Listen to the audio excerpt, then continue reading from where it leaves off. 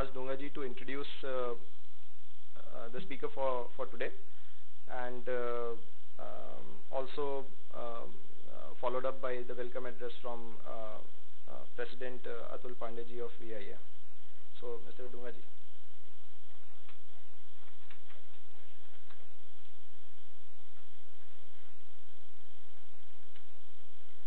Thank you, Faiz.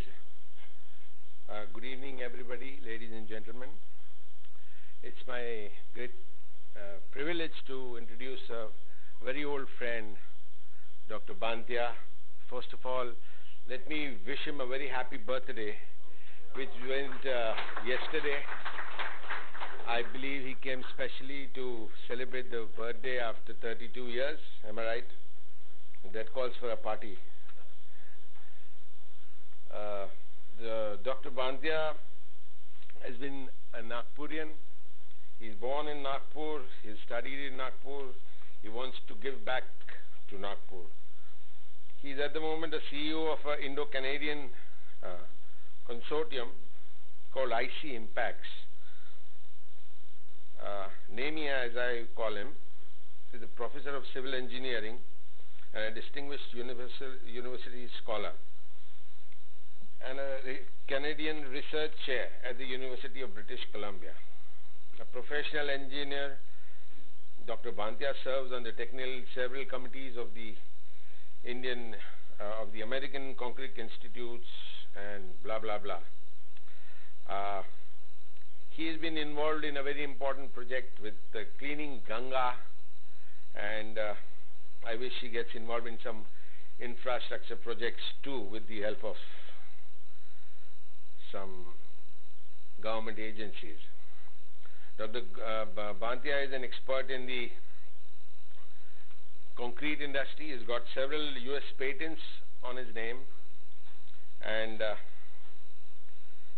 at the moment he's in India for a private as well as a business uh, visit and there's a lot more to be said but I think I'll be wasting or taking away your time to until we want to listen to him. So, please present Dr. Banthia. Welcome him.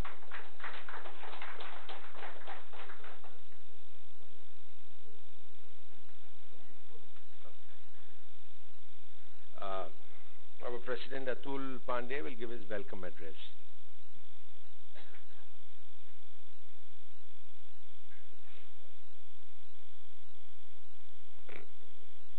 Good evening, friends. Uh, before coming here in the hall, I was sitting with my colleagues out there and uh, having an informal chat with Dr. Banthia. And uh, uh we at VIA are uh, really privileged in a way that we are uh, having an opportunity to hear him for the second time. I was told that he's already been with us a couple of years back, and unfortunately I missed that talk and today it's it's my good fortune to hear him. Uh, friends at VIA, we we not only want to ensure that this platform is being used for facilitating speedy industrialization of this region, but also for various developmental activities because they are all supportive to uh, the process of industrialization. And uh, we must acknowledge the work done by Nagpur First. We have had a wonderful event being organized uh, about two months back, uh, wherein a galaxy of speakers and uh, uh, the thought of thought process got ignited there. the churning of you know various synergies took place and uh, nice to see all these developmental activities. Our Lodaji is uh, spearheading this movement and uh, he is also an integral part of uh, various VIA activities. He is chairman of our CSR forum. So it's a proud moment for all of us and uh, wishing uh, all the best and belated wishing belated birthday to honored guest this evening. We look forward to hear him. Thank you. Request uh, Mr. Pandey to uh, offer a floral bouquet to the speaker for the day uh, as a happy birthday wish as well. and I request uh, Mr. Bant uh, Dr. Banthia to come and uh, enlighten us for the day. Sorry, a photo you want? So we take it afterwards?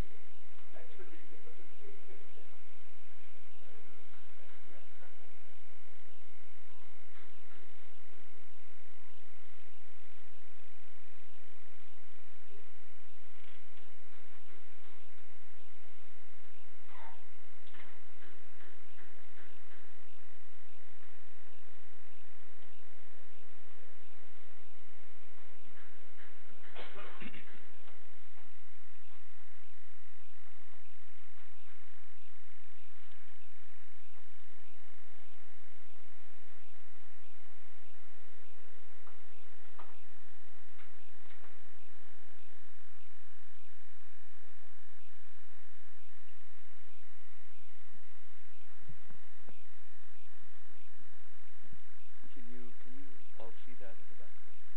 All right.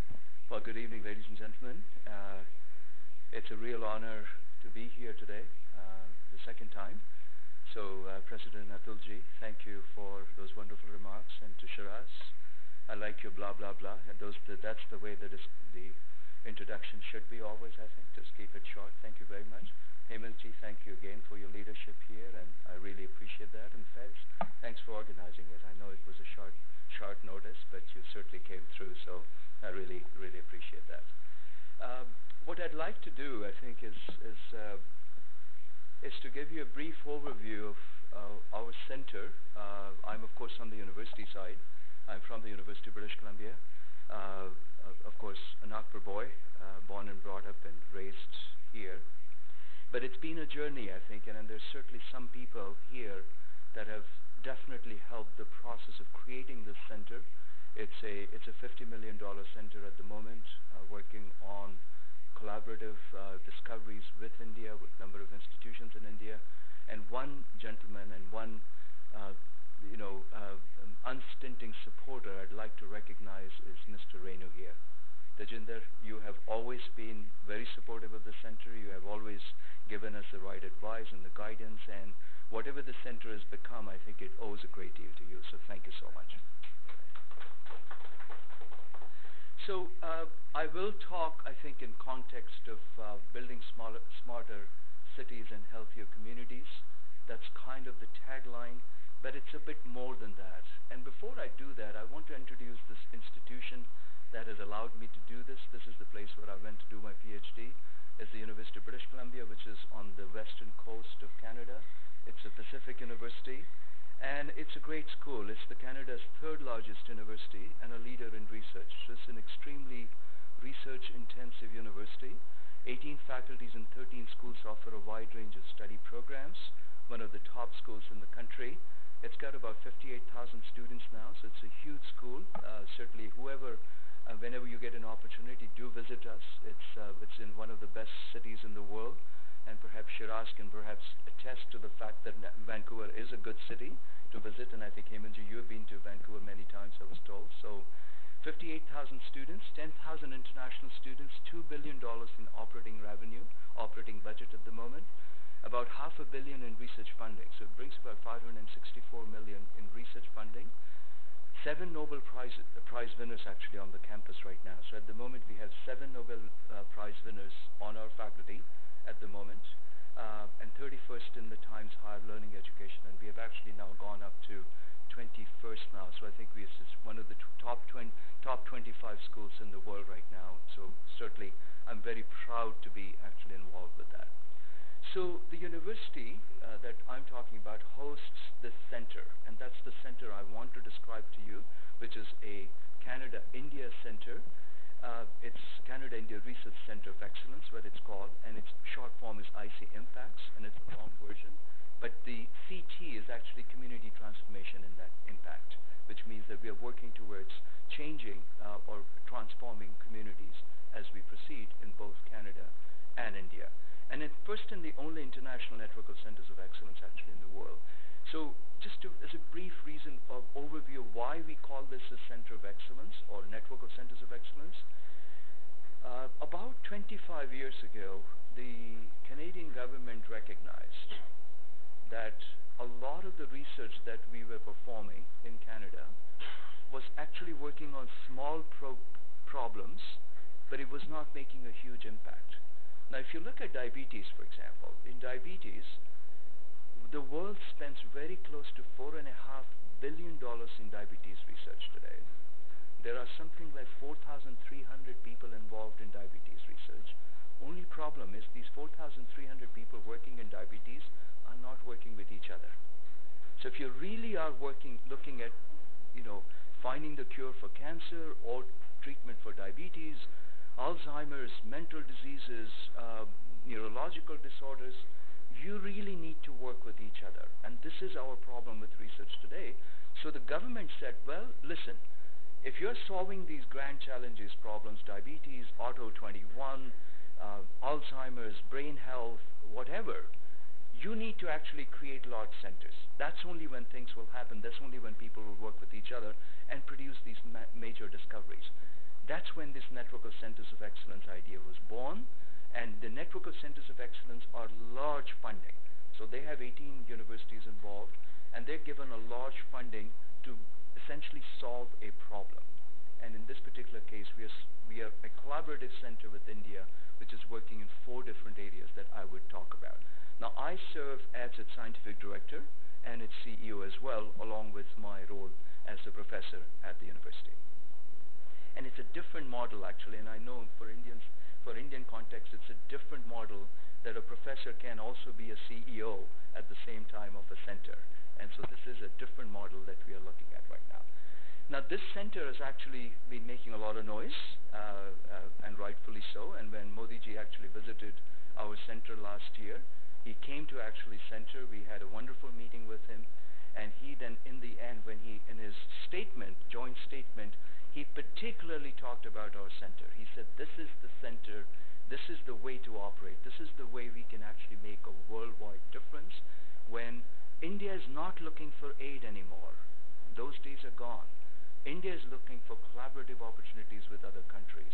So let's solve problems together, let's identify and let's work with each other in partnership mode rather than you know, India looking for aid from other countries.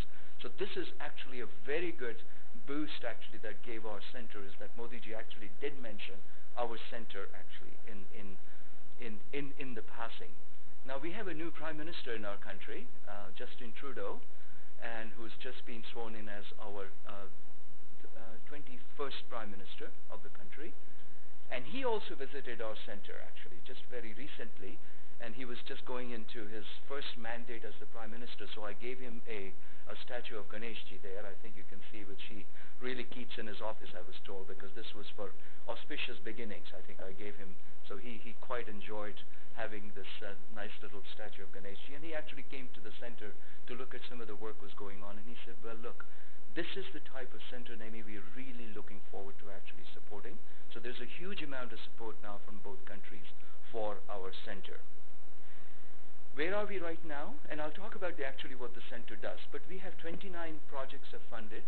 Our total funding is about $50 million. Uh, we have funded 29 projects.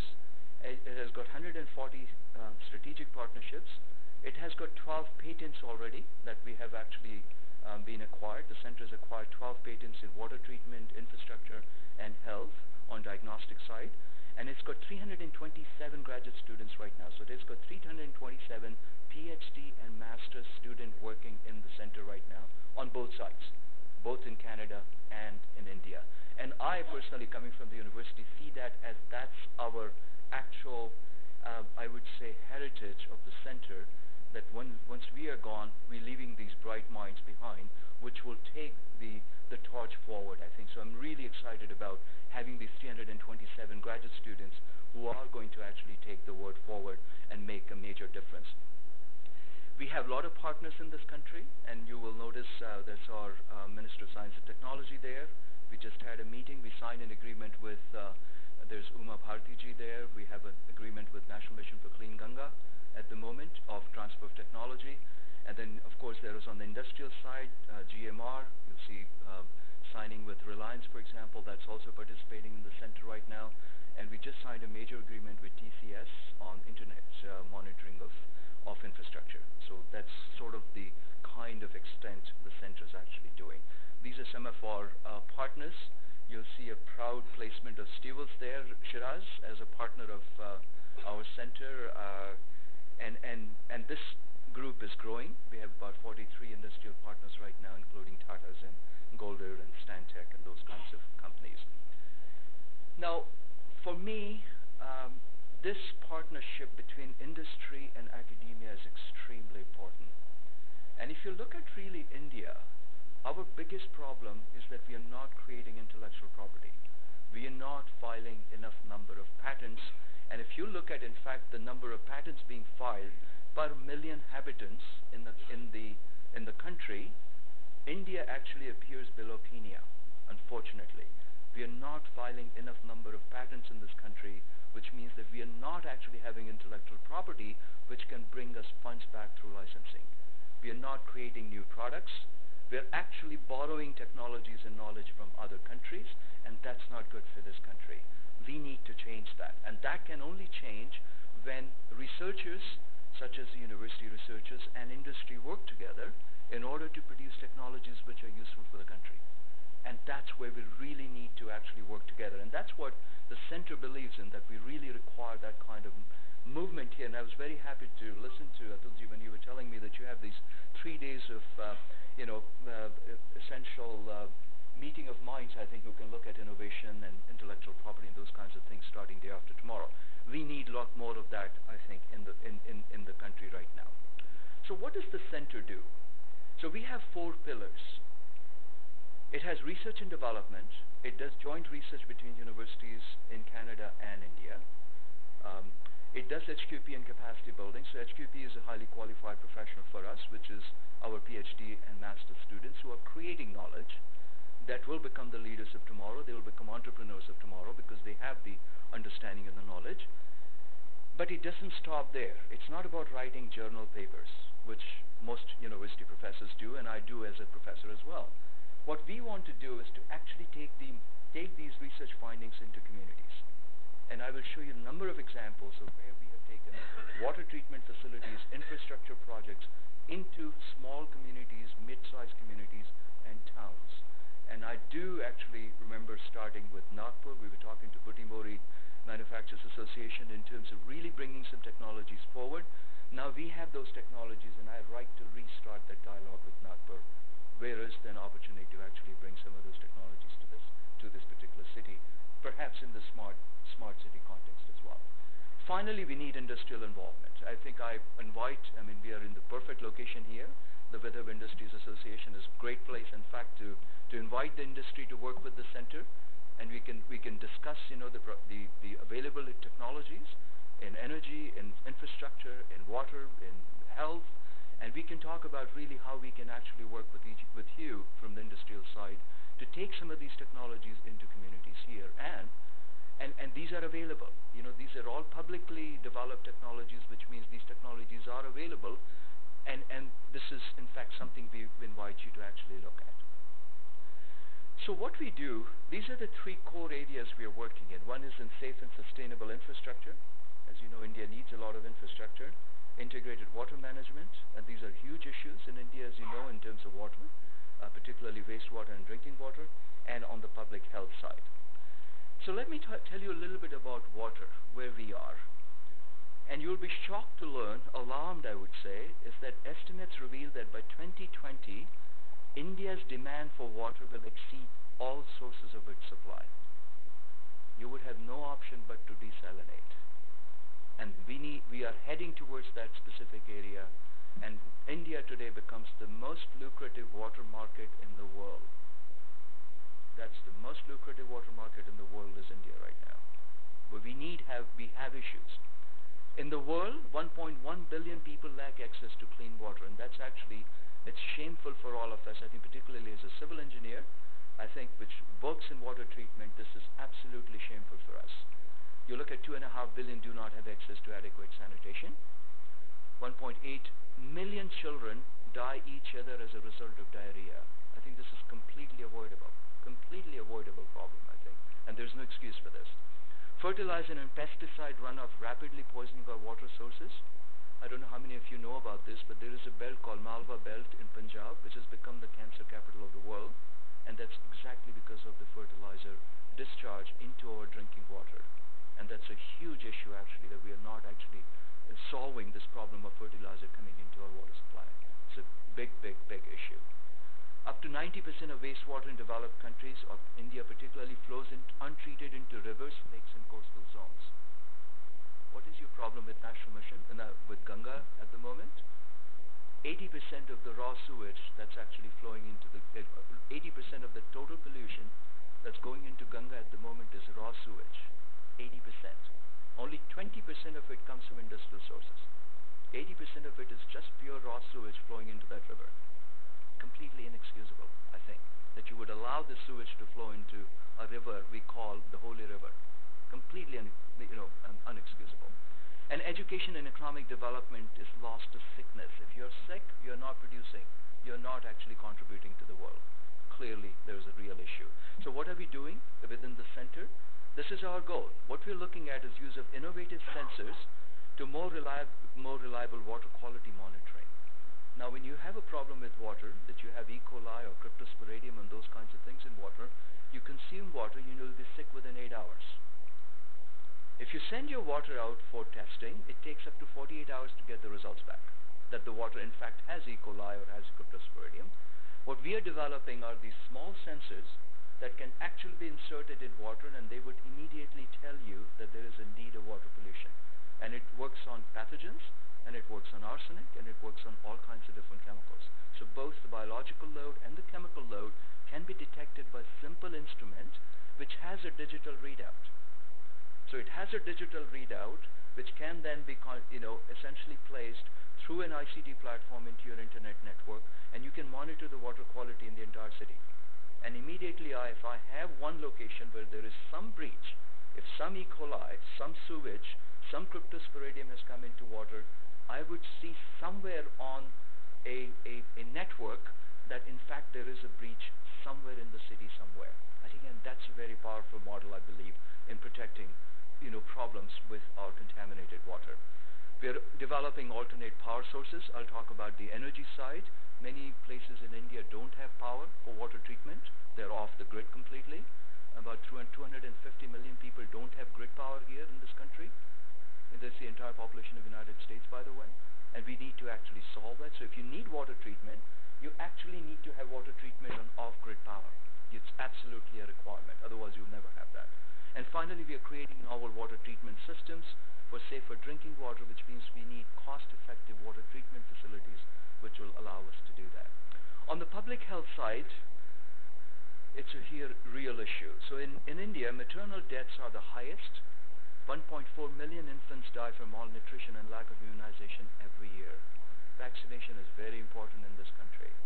And vaccinations actually require uh, power because you have to preserve these vaccines at a low temperature. Otherwise, they, they get spoiled if you're actually delivering vaccines which has stayed in, you know, even more than, more than 30 minutes in 50 degrees Celsius, you have lost effectiveness there.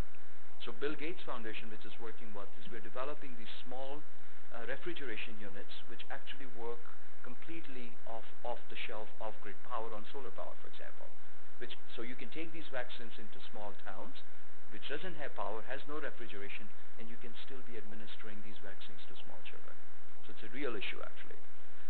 India's infectious disease burden in malaria, HIV, STI, which is sexually transmitted infections, is staggering. Two million cases of tuberculosis alone each year. And that, I believe, is completely inexcusable as, a world, as, as the World Health Organization has predicted. So what are we doing? We're looking at new technologies for rapid diagnostics of the infections and water-related infections in India and Canada. We're focusing on maternal and child health and we are looking at development of uh, mobile networked health technologies. India has 1 billion cell phones. This is a very powerful model, I think, for mobile technologies and mobile health delivery in this country. If you have a problem, have go to an app, look at the symptoms, feed your symptoms, and you would immediately be getting elephant from from a specialist in some wonderful place. So for example, there's this uh, project going on in, in Bangalore right now. So we're developing for this very simple eye testing device, which is portable. It can be taken to small, small uh, villages. It, it's a very portable device. You can check the eyesight of people and deposit the data through a cloud uh, server or onto a cloud server through cloud, you know, outsourcing or cloud sourcing. And you can actually get these data being examined by a real specialist somewhere in Delhi, for example, also in And that's a powerful model because you can do not have access to specialists in these small towns, but if it's actually done through a cloud server, these specialists can look at those scans, they look at these sort of the retinal scans or, or corneal scans and come up with really how to actually fix these problems immediately. And that's actually is a very powerful role that these uh, mobile technologies can play. Now I want to talk about infrastructure. And I'm from Rajasthan, so I've got this wonderful elephant from Rajasthan here. And there's a reason why I'm showing you an elephant. See, we just found out that the elephants actually run with their front legs. So the, the rear legs of the elephant simply drag on. I don't know how many of you knew that, but anyway, it's a biological fact. The elephant always runs on its front legs. And India is very similar. If you look at its celebrated services like services, telecoms, outsourcing, technology, uh, IT, for example, these are the front legs. And what's actually dragging behind in this particular case of the elephant is our infrastructure and our agriculture. So we really require a great deal of actual support for our infrastructure, heavy industries and agriculture, which are literally dragging behind these Infosys type you know industries that are just bringing a lot of cash into the country. That's why we're focusing a lot on our IT industry and much less on the infrastructure and much less on the heavy industries, which are not actually bringing as much cash because these are services we utilize. So really, we need a lot of work done on infrastructure in this country. So what are we doing? If you look at now the conditions here, aging infrastructure with unknown condition both in Canada and India, 125 billion Can Canadian present infrastructure crisis. We have a big problem in Canada as well. So if you look at this, that freeway, oh sorry, this overpass that collapsed in Canada, uh, in uh, just a couple of years ago, just killed eight people. This is in just not too far from Montreal, which is where this overpass collapsed. This overpass was actually inspected the same week it collapsed. That is a for concern because if we are actually having a structure collapse the same week as was inspected, that tells us that in fact we don't know how to inspect these structures. And that's a similar problem in India. You have no idea what condition these structures are in, particularly if you look at the bridge just now here, not too far from Nagpur by the way, that bridge I'm showing you here. Look at how the bearings have completely shifted from its place. This is an unsafe bridge. This is an unsafe bridge. And you really require method, methods of actually monitoring this. But here comes the concept of smart cities. Your smart city should have sensors on a structure like this which will tell you that the bridge is now unsafe. That is a smart city for me. And you re really require these kinds of sensors and etc. So what are we doing? We are actually looking, and India now, as you know, will spend 1.3 trillion in five years, next five years on infrastructure, mostly PPP model, for example. Use of innovative sensors for more accurate structural health monitoring. I should be able to tell what stage my, my thermal power plant is. I should be able to tell what stage my bridges are in. I should be able to tell what stage my nuclear power plants are, etc. And new technologies for repairing, strengthening existing structures. When you realize that there is a problem, we have, we have an issue and we can fix this. Water storage infrastructure is a big problem here actually. So India can store only up to 30 days of rainfall compared to 900 days in major river basins in arid regions of developed countries we don't have a lot of stored water in this country, and you really require a very large water storage infrastructure. Supply infrastructure is just as bad. Supply infrastructure is completely corroded here, and, you and that's what causes these uh, these breaches where all the sewage actually gets into your drinking water, and there's a lot of intermixing that goes on, which makes a lot of people sick. And I think there are massive uh, investment needed in the water infrastructure in this country alone. Energy and this is the last area we are in. 1.2 billion people in the world do not have power. Many more only have access for a few hours a day. Problem is far more acute in rural areas. Needless misery left behind to live in the 19th century life. This is a fact, I think